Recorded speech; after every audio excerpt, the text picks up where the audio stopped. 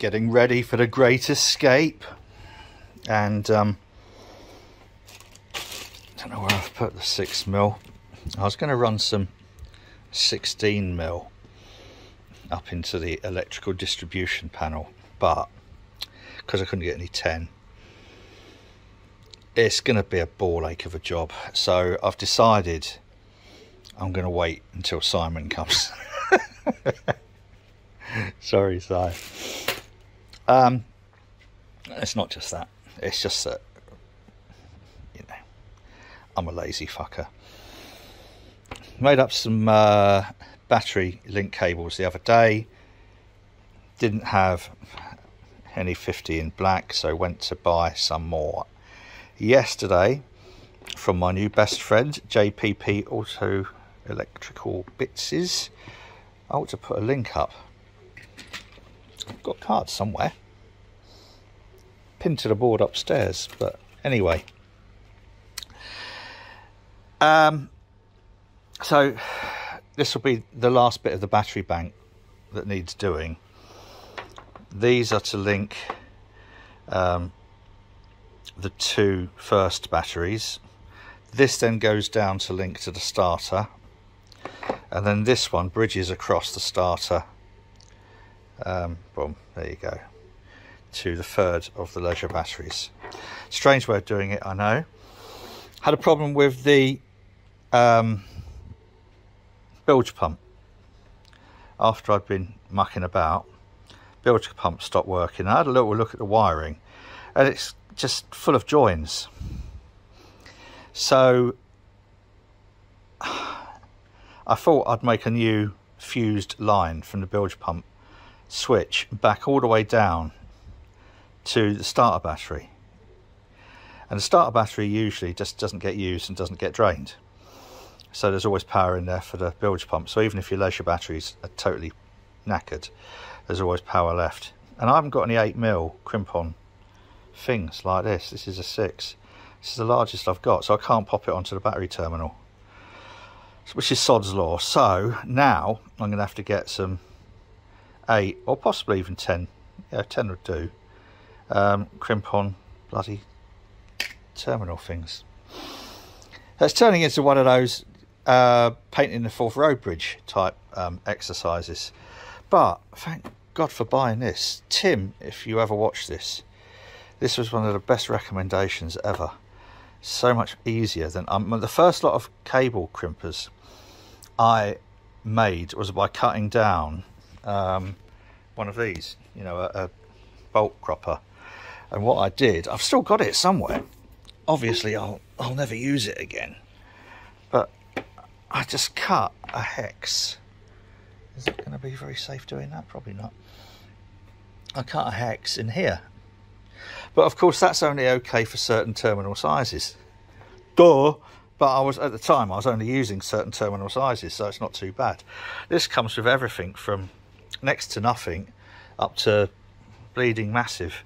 So all the various different terminal sizes you can get. These can go back in here now as well. Fuck it. I keep meaning to sort that out, but you know, it'll happen one day. Um, so yeah, all these tiny little things which keep getting in the way, uh, keep getting in the way. I'm to pop some heat shrink on here, uh, and then pop them on the boat. That's one of my least favourite jobs completed. So these are the new links that have gone in and then we have the fourth leisure battery tucked away under there. Now this is just to see whether it makes any difference. Hello darling. Where's other quacky dog a bit of a worry are you all on your own son that's not good uh, anyway right so, least favourite job, especially in rain. And just as a, give you an idea how much rain we did have, there's quite a bit there.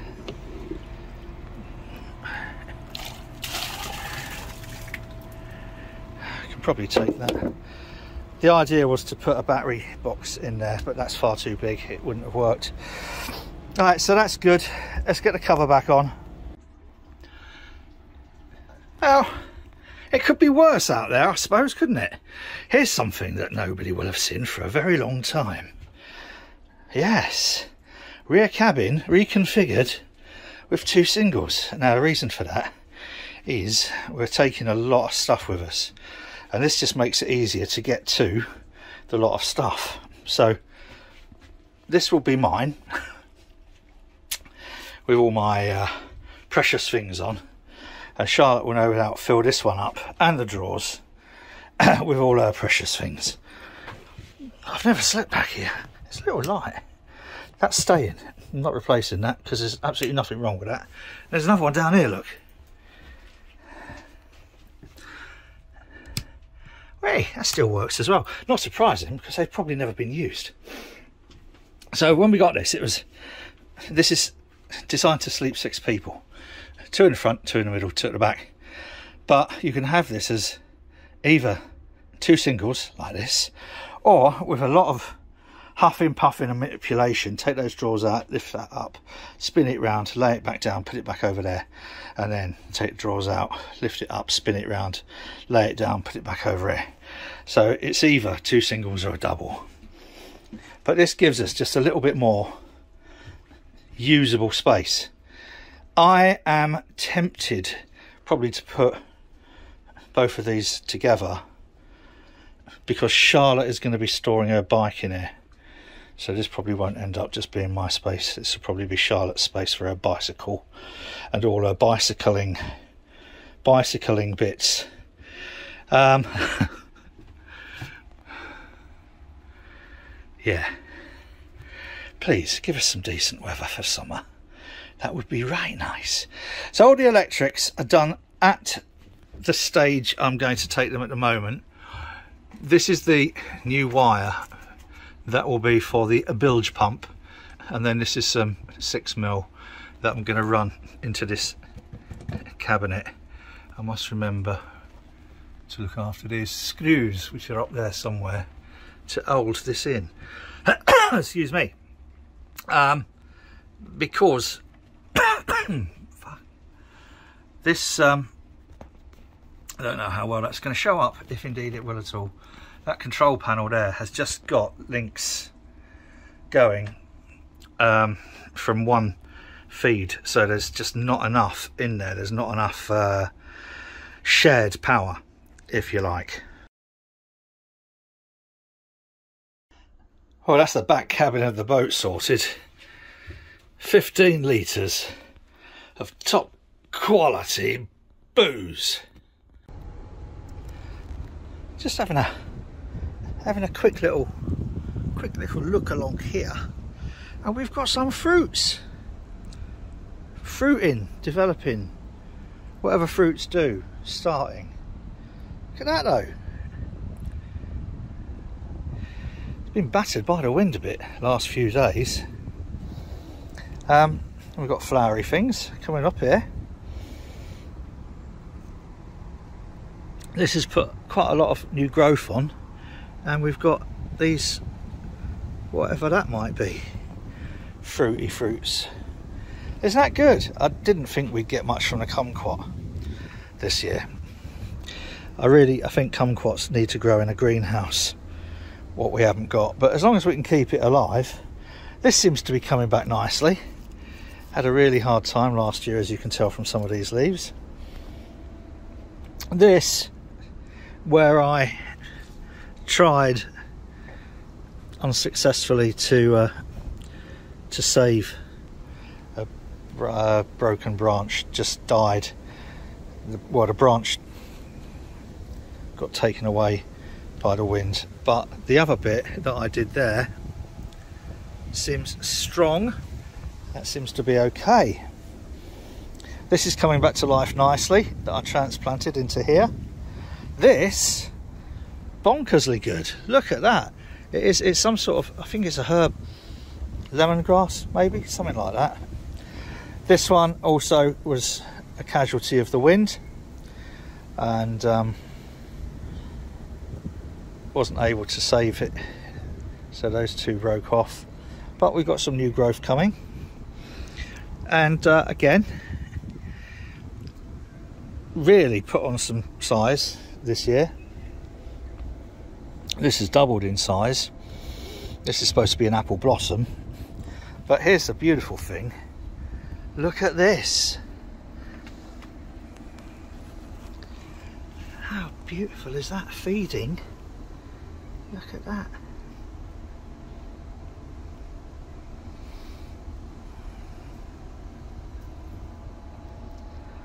This is what it's about, folks.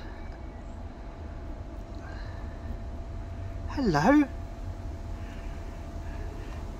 Feed the birds and the bees. And these are flowering nicely, these wildflowers, and I think that is comfrey. But how about that? A little quayside. Some of the um, bits of uh, bitumen we've put down have just come off a friend reckons that's because this is too smooth underneath but you know if we wanted to rebitumen it I reckon just get some really rough 40 grit uh, emery paper on there cut that down but yeah I think we're looking good along our little quayside what we need now is uh, a nice little bit of summer stocking up for the trip with mini kegs. Something from our friends at uh, Triple Point. Loads of alcohol-free BrewDog.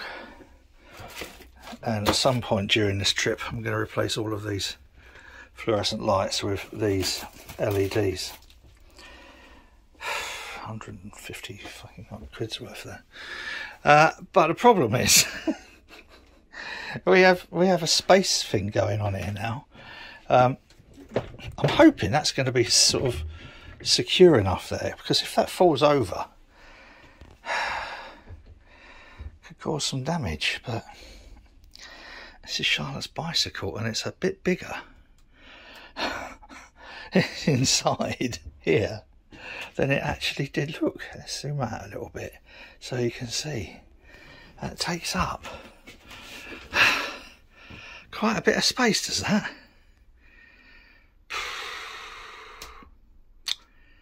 It might be that a lot of the time it's either on the roof, chained up, or look, bicyclists. That's what Charlotte will be doing between boat and car. But it might spend an awful lot of time chained up on the roof or at night on the back deck.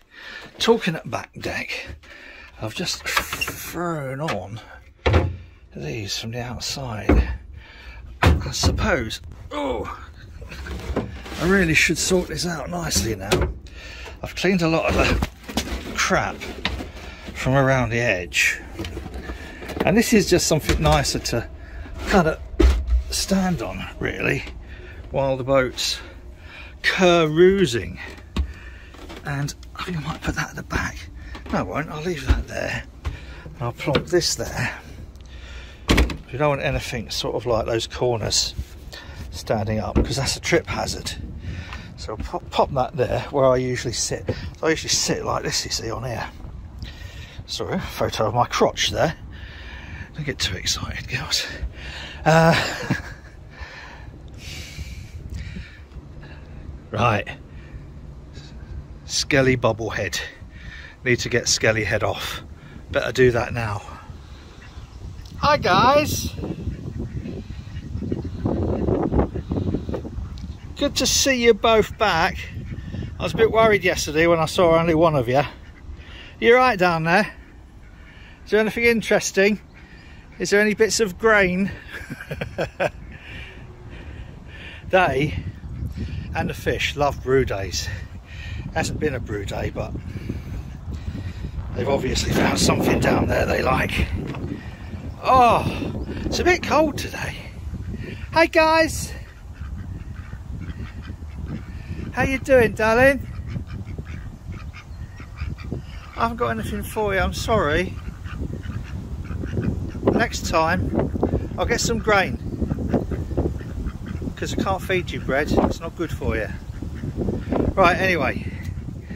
That's, um, what?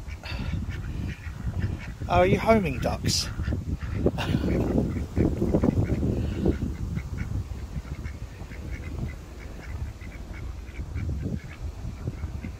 I could just stand there all day chatting with these guys. They're so lovely. They're really tame as well. If I did have any uh, any grain, tempted to go and open a bag of Maris Otter now. Um, if I did have any grain, they'd eat it out your hands. They're lovely. You shouldn't give them bread though. People, please, don't feed ducks bread. Right. I'm going to start giving this a bit of a clean now. Uh,